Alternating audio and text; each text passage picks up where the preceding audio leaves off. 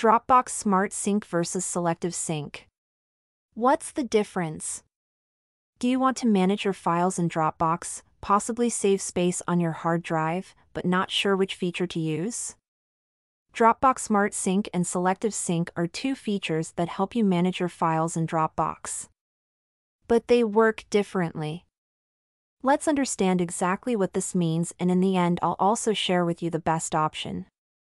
Selective Sync Selective Sync allows you to choose which folders on your computer are synced with your Dropbox account. This means you can decide, select, which folders you want to keep locally on your computer and which ones you want to store only in the cloud. For example, if you have a large folder that you rarely use, you can choose not to sync it to your computer, and this will save space on your hard drive. Selective Sync is a free feature. Smart Sync on the other hand, Dropbox Smart Sync takes a smarter approach. And it is a paid feature. It allows you to see all your files and folders in your Dropbox account, but it only downloads them to your computer when you need them.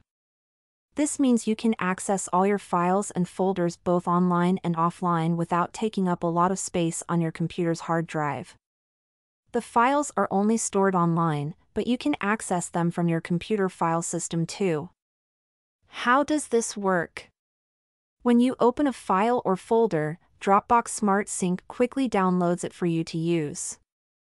And it takes up only a small amount of space on your hard drive. In summary, Selective Sync lets you choose which folders to sync and which ones to keep in the cloud. And Dropbox Smart Sync shows you all your files. But downloads them only when you open them, which saves space on your computer. But wait, there's more. Automatic Smart Sync. Automatic Smart Sync is a setting in Dropbox that helps manage your files automatically. When you turn it on, files that you don't open often on your computer will be automatically stored online only. This means they won't take up space on your computer's hard drive. But they'll be available for you to access whenever you need them.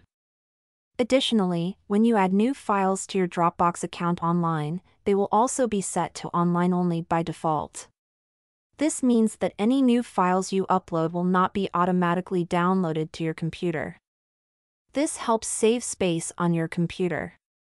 In simple terms, Automatic Smart Sync helps manage your files, so that the ones you rarely use don't clutter your computer and any new files you add are stored online without taking up space on your hard drive.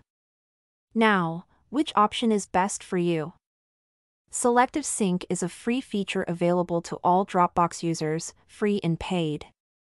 But Smart Sync is only available to paid Dropbox users. So while it could be the more convenient option, you should take into account the price factor as well. I hope this video was helpful. Let us know in the comments if you would like to see more Dropbox tutorials such as this one.